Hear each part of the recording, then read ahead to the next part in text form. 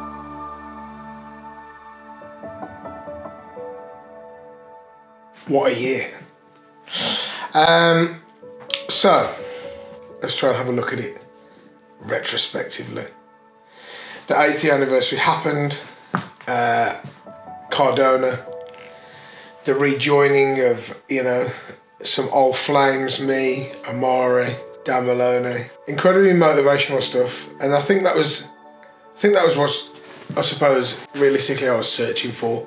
I don't think it could have been any more perfect. You know, Cardona, so, you know, full props to him. He's at that point there. He was arguably maybe the fam- most, most famous wrestler you could possibly wrestle on the independent circuit at the time.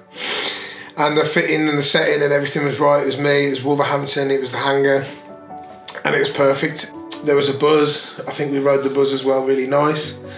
Um, the OTT weekend was incredible.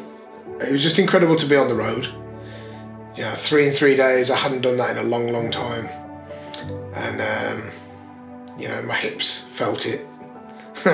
um, but yeah, you know, it was good to be part of a team. It was good to be part of a locker room. It was good to be part of. Everyone was in the same camp. Do you know what I mean? Everyone was moving forward. Everyone was trying to, you know, have the best match of the night or do the best thing they possibly could. You know, in that in that situation on that night in that time. And I think that's what it's all about, isn't it? That is for me. That is what wrestling is. It's about everyone coming together. You know, I think we touched on it on Out of Darkness was, you know, how how important it was that everyone came back together and we gelled again. You know, we all have the same goal, and that goal is to create that perfect escapism, that perfect, that perfect form of entertainment that we all grew up on and we all loved, and and that's what it felt like. That's what it really, really felt like that weekend. It felt like there was 20, 30, maybe 40 people, and then the crew as well, maybe 50, 60 people, all in it together. Like, all there to just blow the roof off every venue that we went to and leave the fans with, you know, the best weekend of their lives. And it was definitely the best weekend of my life, anyway. One of the one of the most one of the, one of the most fantastic things about the Cardona match and the return to the Indies was the sheer luck and timing of having Tyler there. You know, that was massive, that was. Um, being able to do it in front of him and kind of with him, you know, just having him there, just at the back and just, you know, just being that little bit of support and, you know, it, it's just so wild how the paths continually intertwine and cross each other. It, it, it's frightening at some points when you actually realise just how how intricately things work, and you know, it's that chaos theory, I suppose, isn't it? It's like it, it all just comes full circle. Everything comes back to you know that, that initial point. But yeah, having Tyler there was amazing. Obviously, I had a lot of friends and family there as well. That helped a lot. Um, but in, in reality, you know, I've said this a lot of times. I didn't feel nervous when I actually walked out. You know, when I heard my music and I walked out up the steps and I walked out to that, you know, to that raucous crowd. There was never, there was never a, a second where I didn't feel like this was exactly what needed to happen. It's exactly what I needed to do. It was exactly how I planned it, and yeah, it was it was perfect. And I've wrestled about a total of 30 matches in front of a total of 30 people. And to be honest, the worry and stress in my head before this show, thinking fucking no one was going to turn up. And I walk out there and swear to God my balls fell out of myself. My ass was on the floor because the fucking Wrestle House is back in business!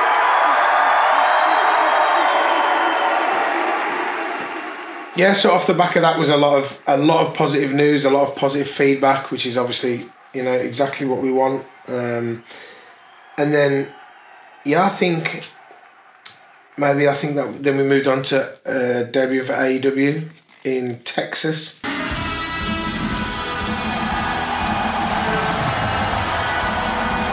Introducing the challenger, Trent Seven. Wow, Trent Seven. Kip Sabian's hand-picked mystery partner, Trent Seven. A hard-hitting British heavyweight now making his AEW debut here tonight to challenge freshly squeezed Orange Cassidy for the AEW All-Atlantic Championship. This is huge. Great experience. Um, I mean, back then, I mean, the, the company has come so far, and there's been so many, I mean, incredible moments that they've produced, and incredible people who have joined and left. Uh, you know, the team over there at AEW for you know for the Bucks and Kenny and uh, and Tony to have, have have built. It's in such a short space of time. It's quite profound. Like it really is. It, it it's something else and it's those little things that you notice obviously after being you know with WWE and stuff and being with the bigger companies it's very lucky to have been there because you see those little things now like how big the the like the, the medical team is. And the, the medical team there is pretty incredible to be honest. I mean there's, there's quite a lot of blood so they're probably they've probably got their hands full anyway. Um, but there's just little things that I noticed about the medical team there and you know hats off to them as well. Like I think the, be- the best thing for me that I take away from from my experience with AEW was when I walked into that locker room or, or you know or into the lobby of the hotel that morning or I was wandering around backstage that day the the best thing about it and the thing that brought me the most joy like the like sheer joy was how many people had either slept on my sofa or I'd put shit, put part bits in for a flight when you know when they were coming over to the UK, or looked after them, or gone out, or, or been in another country, or, or been on a tour of America or Australia or whatever with them. to now see them people with titles over their shoulders, like wrestling on national television every week, that I think that I think that was the best thing that, that AEW has done. I think not only is it giving the fans an alternative, uh, you know, viewing stream, it's given those people an opportunity to be able to tell their story and tell their path and tell their history of them in wrestling to the whole world. A couple of people, to name a few, Eddie Kingston, Orange Cassidy, just those two, for instance. Just seeing them at the absolute peak, at the absolute top of the game, the top of the industry, it was mind blowing, but it was also so, you know, so heartwarming as well.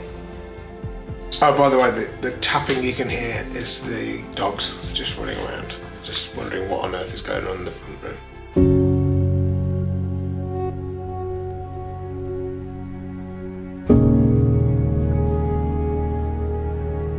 It goes without saying that all of this, this last year, and uh, all of the, the goals and all the dreams and all the hopes and everything, like, like, it takes it takes a lot of working parts, and you know the last year would definitely not have been the same if there wasn't the support and the backing of OTT, RevPro, the, the opportunities that have been given to me by OTT. Um, obviously, I've I took that NLW title and I've defended it all over the world. Um, ulti- obviously, you know, ultimately lost it now, but you know, the, the point is like, I, I feel like I had to make that title worth something again, and I feel like it. I feel like I did that. So I'm, you know, I, I thank them for, for giving me that opportunity as well to do that. And then, you know, same with Rev Pro. Um, you know, we went deep with the the Michael Oku um, approach, and, and I still truly believe that I am the real Rev Pro heavyweight, British heavyweight champion. You know, I think about the opportunities that have come from that. Um, the Copper Box alone, what an incredible moment that was. You know, for the for was it 10th anniversary, and also obviously the New Japan show as well. You know, debuting under that kind of like the, the a real New Japan banner. Do you know what I mean? I'd had the, the fortune of working with Rev Pro on a Global Wars before, and we, we wrestled Naito and, uh, and Nagata. I think I wrestled on night two, and they're experiences that you can't, you know, you can't you can't put any kind of value on. But this one, this one was really special. You know, Desperado is incredible, uh, an incredible talent. But like, I I could feel it there as well. I could feel it backstage. I could feel. I could feel something a bit different there with New Japan, you know, especially now, especially with Gedo and like the amount of work that he seems to be put into the, the younger talent, you know, like, you know, I look at Dan Moloney and I look at, you know, the War Dogs and these guys and, you know, Gabe. They're, they're performing at such an incredible, incredible level. They, they have enough experience, obviously, within wrestling that I'll never take that away from them, but sometimes you have to realise just how young these guys are. And the, the sheer, the unadulterated confidence of which they perform at is it's mind blowing sometimes, man. But the future is incredibly bright, I think, for New Japan. And, you know, there's a lot that has to be said for those two British boys. They've, uh, they've really turned it up a notch, they have.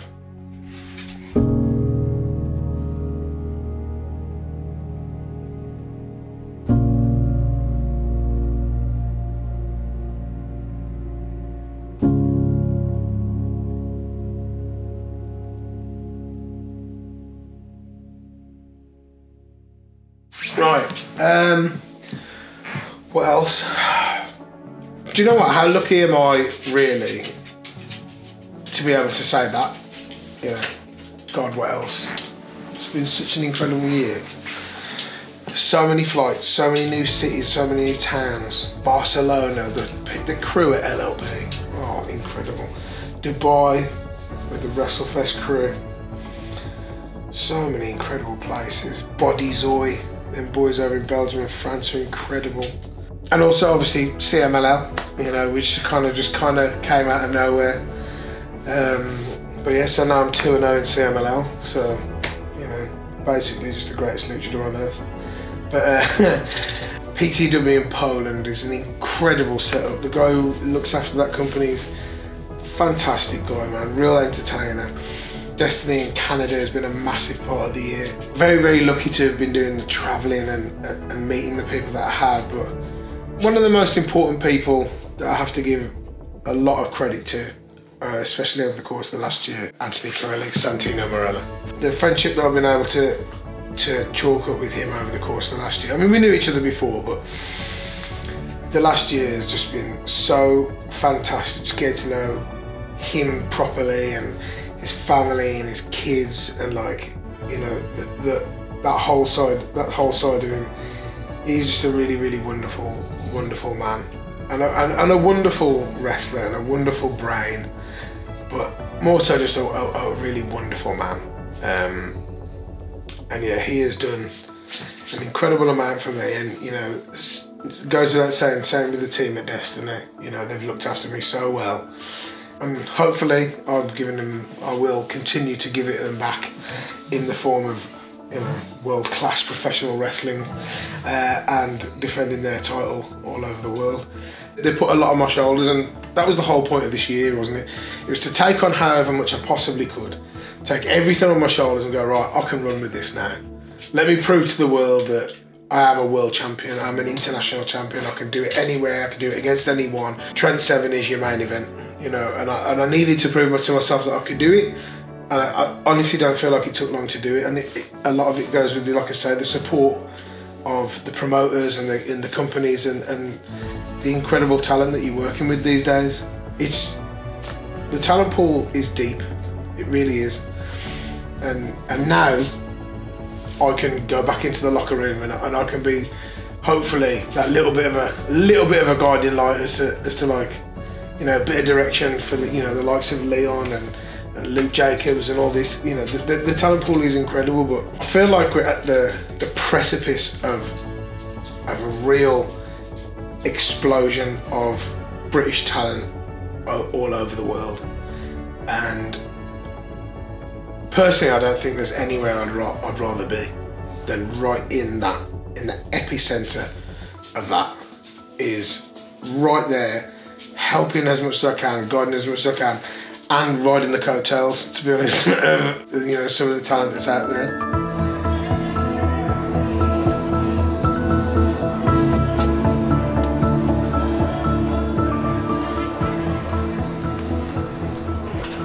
One of the best things to come from this year, for me personally, the ability to go back into the training ring and back into that into that training kind of zone with seminars and, and teaching and training and still don't get me wrong every single seminar or training session I've ever done I've always learned something and written it down in my little pocket and I've probably gone to the next seminar and told everyone it was me because that's wrestling right? Um, I got so much out of it so much and like and that that's definitely something that's that, that I'm, I'm definitely not going to slow down on is the seminars is trying to just pass on those little gems or that little bit that I had because the one bonus that I've got is that I, if out of anyone, prove that you can do it, prove that it is doable with whatever resources you've got. um, I think I proved it. I, I really do. I think I proved it, and now with what with with changing the attitude and the aspect of the way WWE and the way we were taught things ready for television and big pay per views and takeovers, etc. I feel like I've managed to be able to merge or at least integrate the indies as we see it now with two, three, four hundred people at a show and that, and try and kind of like put it into a mixing bowl and bring out the almost like the perfect little cupcake of wrestling. Take the two viewpoints two complete polar opposites of the industry and be able to slightly just just kind of push them together a little bit like I said and merge them. There isn't there isn't one way of doing this. There's so, it, there is just not it, there's no way there is because we all are different shapes we are all different sizes we all have different hair we all have different abilities agilities. There, there is room for people who have passion for this industry in the industry. It might not be in the ring it might not be in a ref shirt it might be behind the camera right? it might be in front of it, it might be as a promoter, or as it, or as it might be, you know, someone who is a talent liaison. There's just so there's so much depth to this industry, and you can make your mark. You can still make your mark in it. You don't have to do, you know, you have to be in the main event to make your mark on professional wrestling. Seeing wrestling from so many angles has ultimately given me the best perspective I could ask for on it. I mean, arguably, I, I feel surely it's my responsibility to do that. It's trying to just just mold, just help mold, not force people into a press. You know, just help mold, just direction, just just give people that little bit of a, a push or a pull or a or a spin that they need just to just to get the most out of what they've got. Do you know what I mean? You might not be the most athletic, you might not be the best talker, you might not be. There's certain aspects to to every every wrestler that isn't perfect and it's getting the best out of those things that you that you're not perfect at and maximizing those positives and maximizing those those strengths that you do have that that you know is the thing that is able to push people and push wrestlers onto incredible things. This year's been fantastic because I've been able to concentrate so much on that and so much on passing. Whatever bit of knowledge and still continuing to absorb it as well to try and get the best out of everything that's it, man. It's a it's an ever evolving kind of of world professional wrestling, but the baseline stays exactly the same, man. We just we just gotta make people happy or make people sad on purpose and entertain them. That's definitely the best one you've done, right?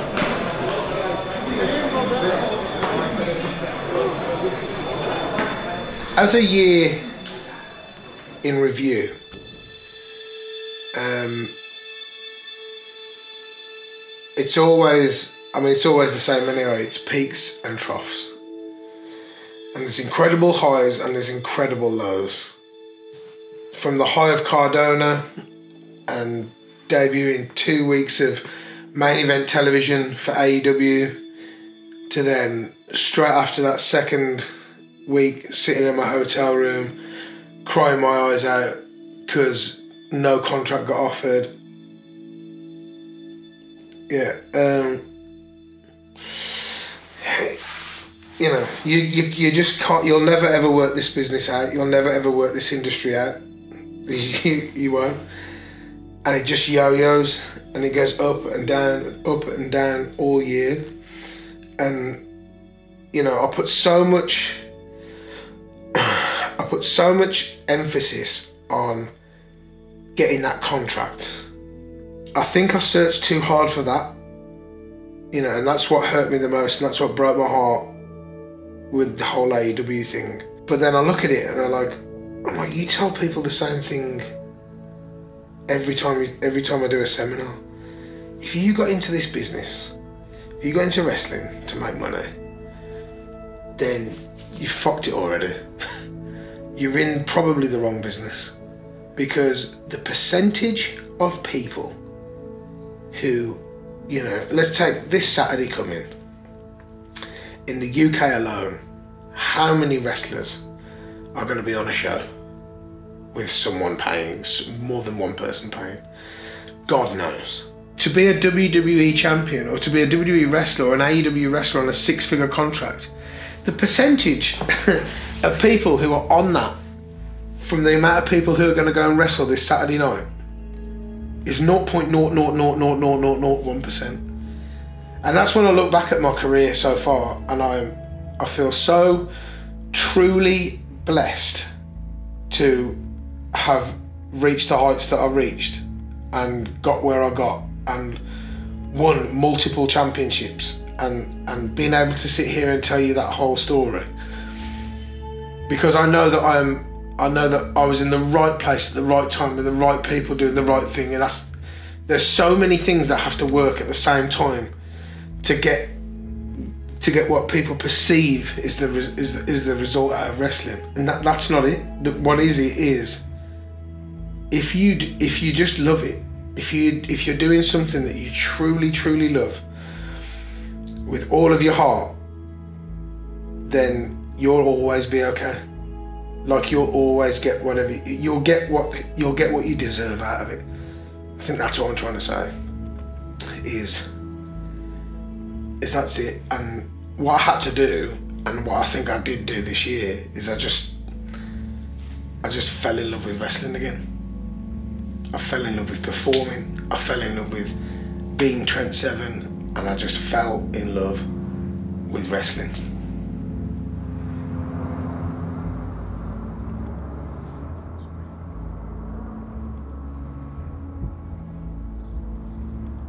It's given me a lot of freedom, you know. Obviously, traveling, that's come back into, you know, that was something that I missed so dearly um, uh, during obviously the pandemic phase. And I look back now and I, I think I may have even taken it for granted. And I think the reason why I, I feel like that is because now the travelling has come back, it's it's opened up me. You know, you're allowed to see the world again. You're allowed to go on planes again. You're allowed to go anywhere you want, Canada, etc., etc. What's more evident now, unfortunately, is just how much I miss the boys. Because now I have to go and do all the travelling on my own, which is a little bit sad. But the flip side of that is, you know, being in freelance and being independent, I get to, you know, I can go away a few more times, you know, with the missus. I can, you know, we can take the dogs away or whatever, or, you know, just just that little bit more freedom to do what I want. You know, I get a little bit more time to play golf as well, which is, as some of you may know, a slight passion of mine. I'm very good.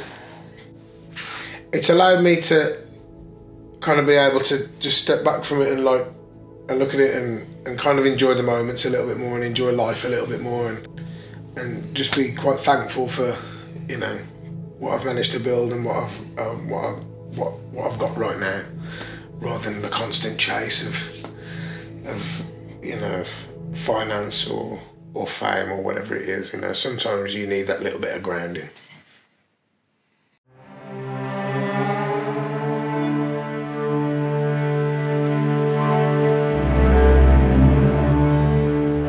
the story alone of of how the Moxley match even even came around is so bizarre.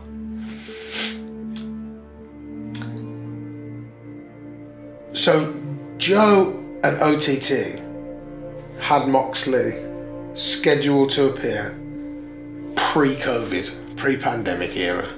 That then got cancelled. Then the booking was on hold for what three years the booking was then on hold for three years so then it's trying to put that kind of now round peg in the square hole type thing and then we did the second match from ott at the hangar i think and it was just after that right i think it was just after the multi-man i think it was an eight-man tag i think and just after that that was when it was announced here in wolverhampton Jon Moxley versus Trent Seven in my hometown. And I was like, does it get any bigger than this? Does it get any bigger than this moment?